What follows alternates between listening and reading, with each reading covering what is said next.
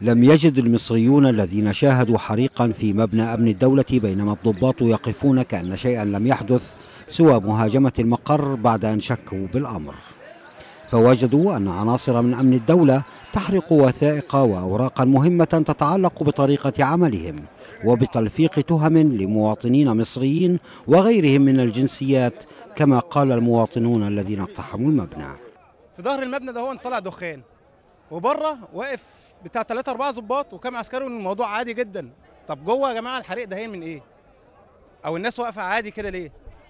الناس بالتالي من أول الظهر ابتدت تشوف الحريقة دي ليه؟ والناس ابتدت تتدخل. جينا شفنا المو- الموضوع دلوقتي.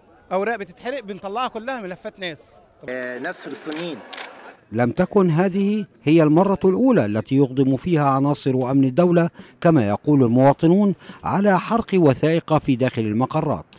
فقد سبق هذا الحريق الذي التقطته عدسة بي سي في مدينة السادس من أكتوبر حريق في مدينة الإسكندرية. إحنا امبارح يا فندم كان في ناس برضه في امن الدولة في باحث امن الدولة في اسكندرية وحرقوا أوراق خاصة بناس تدين ناس برضه منهم آه، كانوا بيعذبوا ناس في في امن الدولة. والنهاردة برضه حرقوا أوراق في مبنى 6 أكتوبر زي ما حضرتك شايف. وادي الأوراق آه، موجودة هي بأسامي ناس وعناوينها. هم كانوا تقريبا يا إما محتجزين يا إما بيعملوا معاهم تحريات سياسية هنا.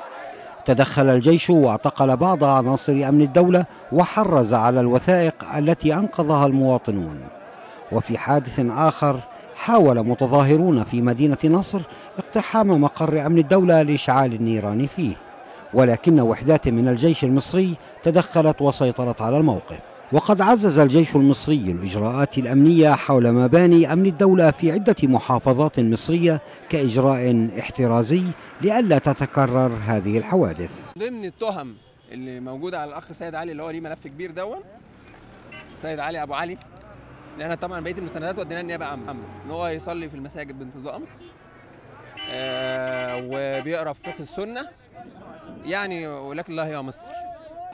ويبدو أن محاولة إطفاء هذه الحوادث لن توقف الحريق الشعبي المشتعل الذي يسعى إلى كشف كل ملفات العهد القديم وبناء مستقبل أفضل على حد قول المصريين.